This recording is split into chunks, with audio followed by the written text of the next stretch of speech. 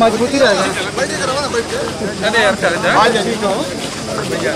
एक सर्टिफिकेट एक आईडी डाल सर्टिफिकेट बना ले।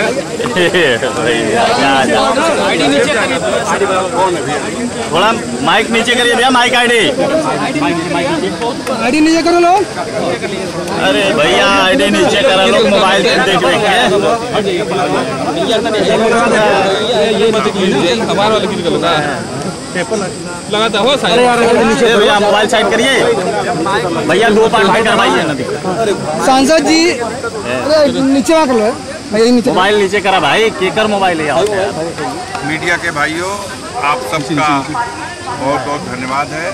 और आपके माध्यम से हम गाजीपुर और पूर्वांचल की जनता को और खास तौर से इंडिया गठबंधन के सभी घटक दलों के कार्यकर्ताओं को नेताओं को इस चुनाव में जो गाजीपुर 75 लोकसभा क्षेत्र से एक लाख पच्चीस हज़ार लगभग वोटों से जो जीत हासिल हुई है, जो 2019 के जीत के अंतर का रिकॉर्ड भी तोड़ दी है, उसके लिए हम गाजीपुर की जनता को और इंडिया गठबंधन के से संबंधित नेताओं, कार्यकर्ताओं को, अपनी महिला टीम के नेताओं कार्यकर्ताओं को बहुत बहुत हार्दिक धन्यवाद और बधाई देता हूँ। सांसद जी किन मुद्दों पे लेकर बीजेपी बिहार हुई और आप समीक्षा आप कीजिए आपने मीडिया मीडिया की बात कर रहा हूँ।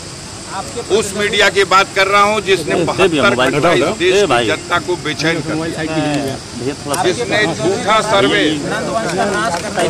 नहीं ये सब बहुत छोटी सी बातें हैं। जिसने देश की जनता को जो फैसला जनता दे रही थी, ठीक उसके विपरीत। अपने लोभ में, लालच में और षडयंत्र में शामिल होकर के झूठा जो प्रोपगंडा करने के लिए एक सर्वे और एक एग्जिट पोल जो जारी किया गया, जिससे देश की जनता बहत्तर घंटे तक बेचैन रही। उसके लिए मुझे बहुत अफसोस है। और कल भी हमने कहा था कि अपनी साख को बट्टा लगा करके अगर चौथे स्तंभ के लोग ऐसा कर रहे हैं तो उन्हें आगे आने वाले दिनों में पछताना पड़ेगा क्योंकि देश की जनता की निगाह में उनकी विश्वसनीयता समाप्त हो जाएगी। भाजपा के 400 पार नारे को कैसे 400 पार की कलियाँ गिनवा देते रहूँगा तो सवा चार सौ साढ़े चार सौ। आज उसकी हवा निकल गई। आज भारतीय जनता पार्टी अपने दम पर सरकार बनाने की स्थिति में नहीं है। अब सहयोगी दलों की घींचाघांची शुरू है। तो उधर के चाणक्य हैं अमित शाह इधर भी चाणक्य हैं अब उनका खेल देखिए। अब खेल होने वाला। है? हैं? बात तो पहले पहली बात तो गोदी मीडिया की हो गई। जिसने इस चुनाव को पूरी तरह से जनता के मन पर, दिमाग पर एक भ्रम बनाने के लिए अजीब माहौल बना दिया। जहाँ धरातल पर सच्चाई ये है कि 250 सीट नहीं पहुँच रही भाजपा, आप उसको 400 सीट दिखा रहे हैं। झूठ की इम्तहा है। गाजीपुर भी जिता रहे हैं, जहाँ सवा लाख वोट से हार रही भाजपा। कितना पक्षपात करेंगे भाई? कितना पैसा देते अभी हमारा एक चैनल है टाइम्स नाउ। उस कल तक अभी हद हो गई अपनी साख को कितने में बंधक रखते हैं भाई? किस तरह से? विश्वसनीयता खत्म हो गई है ये सोशल मीडिया का जमाना है हर हाथ में मोबाइल है। और कोई भी झूठी खबर परखी जा सकती है जांची जा सकती है। बड़ी बड़ी मीडिया के लोगों से ये चूक हुई है। मैं कल भी प्रेस कॉन्फ्रेंस में ये बात कहा था। और पूर्वांचल में किस तरह सफाया होने जा रहा? आज वो दृश्य आपके सामने है। चंदौली को मैंने कहा था, जीत रहा हूँ, जीत लिया। हमने ऐलान किया था, बलिया। आपने देख लिया फैसला। जनता का फैसला, हम भी, हम एग्जिट पोल नहीं कर रहे थे। हम अपने 50 साल के जीवन के अनुभव के आधार पर कर रहे थे। घोसी भी जीतेंगे, लालगंज भी जीतेंगे, आजमगढ़ भी जीतेंगे, जौनपुर भी जीतेंगे मछली जीतेंगे। ये सारी जीतें जीत लिए आज समाजवादी पार्टी इस देश में तीसरी सबसे बड़ी पार्टी बन गई। जिस समाजवादी पार्टी को एग्जिट पोल वालों ने अंडर टेन कर दिया था, आज वो समाजवादी पार्टी देश की तीसरी सबसे बड़ी राजनीतिक पार्टी है।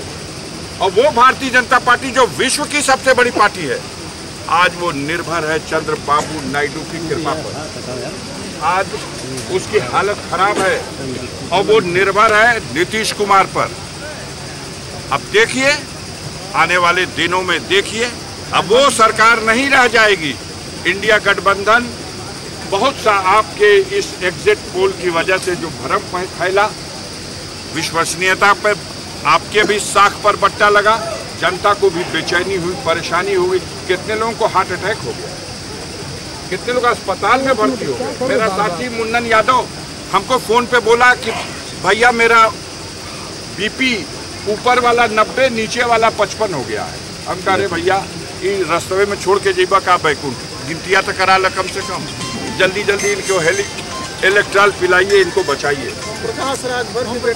अब तो साहब अब एक एक नाम लेकर के आप मत कीजिए। मेन नाम है, मोदी पे सवाल कीजिए। मैंने कल कहा था कि जीतेंगे भी तो अपनी जीत पर शर्मिंदा होंगे। कल कहा था हमारी प्रेस कॉन्फ्रेंस में। जीत इतनी होगी, पीछे रहे, दो राउंड तीन राउंड पीछे रहे। और उसके बाद जीत लेने में भी सफल हुए तो अपनी जीत को जब जब देखेंगे, शर्मिंदा होंगे, क्योंकि लक्ष्य था दस लाख से जीतने का। विश्व का सबसे बड़ा नेता और चुनाव गिनती के दौरान हार भी रहा है, ये खबर फ्लैश होती थी। कैसा लग रहा था? जो नज़ारा है, उत्तर प्रदेश में कोई सीट आप मानने को तैयार थे? कोई सुनने को तैयार था? कि अंबेडकर नगर जीतेंगे। हद हो गई भगवान के नाम पर वोट मांगने वालों को। भगवान का को पैसा लगा कि अयोध्या की सीट भी हार गए। फैजाबाद की सीट पर, अवधेश प्रसाद समाजवादी पार्टी के परचम लहरा करके साबित कर दिए। अंबेडकर नगर की सीट, बारह बाराबंकी सीट, ये गठबंधन जिस तरह से उत्तर प्रदेश में भारतीय जनता पार्टी के सामने मुकाबले में एक मज़बूत दीवार बन के खड़ा हुआ है, अब गिनती उल्टी शुरू हो गई उत्तर प्रदेश सरकार की। आने वाले में देखिएगा नंबर उनका है।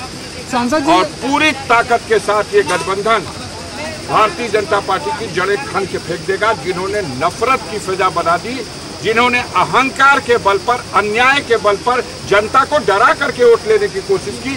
जनता ने उनका मुंहतोड़ जवाब दिया है इस इलेक्शन में। पिछली बार आप जो चुनाव जीते थे तो आपने बोले कि मेरी सरकार बनने वाली नहीं है तो मैं कोई काम हमसे उम्मीद मत अब काम वो आजे मत गिनवाइए काम हमसे कुल उम्मीद रखिए जो हमारे बस का करेंगे। हमारी लड़ाई बंद नहीं है। अभी कितने लोग आप लोग जैसे तक कल ही हमारी सजा करा रहे थे और गिनतियों ना होने दे रहे थे। लेकिन एक बार नहीं, बीस बार न्यायपालिका से और जनता की अदालत से। मुँह की खाने के बाद भी आप, अब उन लोगों की ख्वाहिश मत पूरी कीजिए जो आपको सिखाते हैं।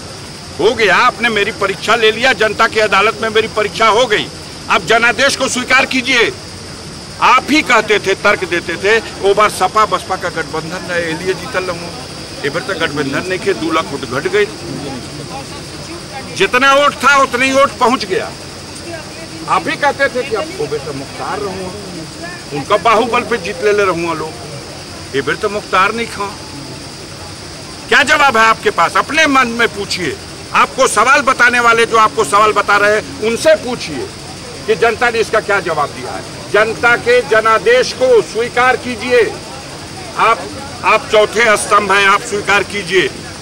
और आपके माध्यम से ये खबर जब जनमानस में जाए तो जनमानस को ये लगे कि हमारे खबर दिखाने वाले खबर नवीसों ने जो सच्चाई थी वो दिखाया। दूसरा जीत जाए तो जातवाद हो गया, और आप जीत जाए तो विकास जीत गया।